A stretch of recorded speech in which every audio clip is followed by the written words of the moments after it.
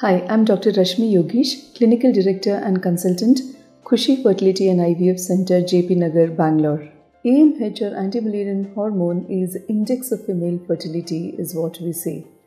That's because there is a basic difference between men and women.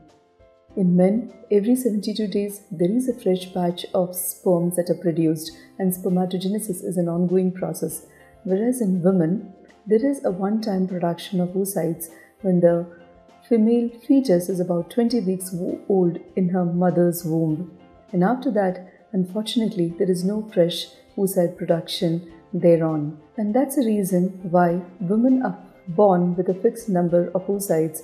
And however, with the onset of menstrual cycle, every month there is natural destruction of thousands of eggs. And so, as the age of the lady increases, the ovarian reserve or the number of oocytes that remain in the lady's system also reduces. An AMH is an index that will measure the number of oocytes that still remain in the lady's system. The higher the AMH, the higher or longer is the duration from menopause.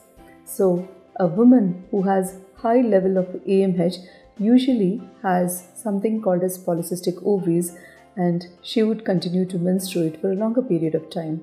On the other hand, in women who have low ovarian reserve and low AMH levels, they have lesser number of oocytes in their system and they tend to have very few years of reproductive career in their hand and they might also have an early menopause.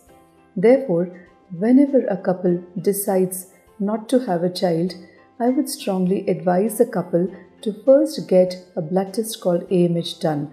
This is a simple blood test preferably done in the first few days of the menstrual cycle, does not need any fasting, will cost somewhere between 1500 to 2000 rupees and will tell us whether the lady can afford to have contraception or not. If the AMH is low, one should not delay pregnancy and should try for pregnancy as soon as possible.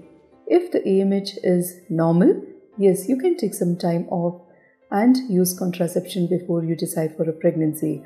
And if the AMH is very high, then high in the sense anything more than 6, then you know that you could be having a condition called polycystic ovaries and you also would need little medical help to get pregnant faster.